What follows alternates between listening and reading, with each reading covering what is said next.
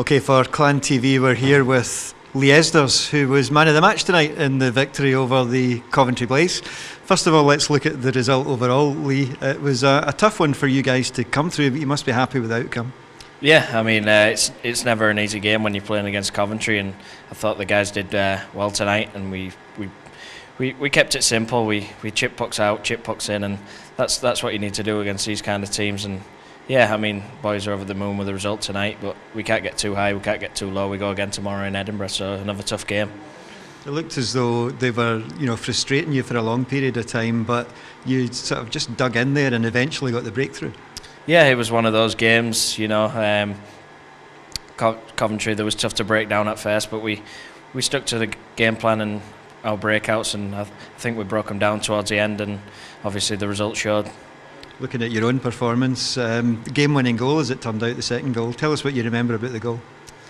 You know, it was a great, great job by Frankie driving the net, and he was just just sat there in front, and I just yeah, you know, I just I just saw an opening and I put it in the back of the net. So yeah, I was pretty chuffed to get a goal. It's been a long time coming, so yeah, I was happy.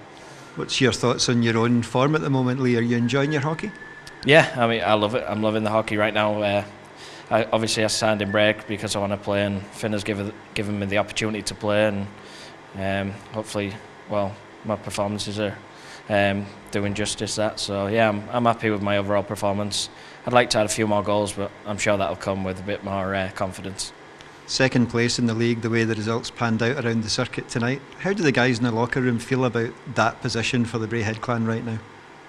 Yeah, I mean, um, obviously, guys in there know we've got a team capable of um, challenging up there for the league, and obviously our conference. So yeah, it's it's a nice boost for the guys. We we know we there's still a lot of work to do going into the final stretch here, but the guys in that dressing room we've got we've we've got a good bunch of guys. So I think we'll go go forward and progress further.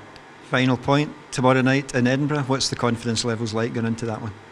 Yeah, I mean Edinburgh's a, it's a tough place to go, but um, rec- recent results in there we showed we can we can get the job done. So after tonight's big win, we've got a bit of confidence. So we're going in pretty confident tomorrow. Thanks, Lee. Congratulations once again. Good luck tomorrow. Thank you.